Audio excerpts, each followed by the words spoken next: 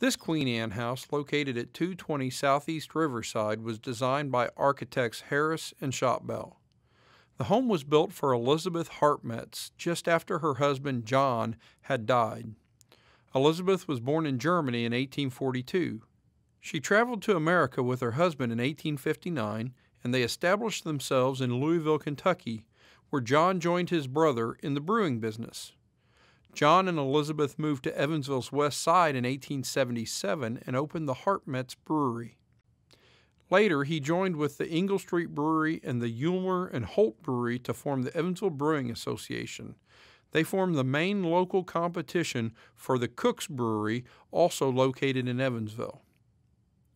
Once John died, Elizabeth built this beautiful one of a kind house for herself. There are many unique features to the Hartmetz house. This is a wonderful brick version of the Queen Anne style. It contains cutaway corner bays, a four story octagonal tower, well appointed wraparound porch with a garland decorated frieze and ionic columns. The limestone for the trim highlights are from the Green River area. Miss Hartmetz lived in this house until her death at the age of 84 on March 9, 1926. This Queen Anne is one of the few buildings left on the downtown riverfront.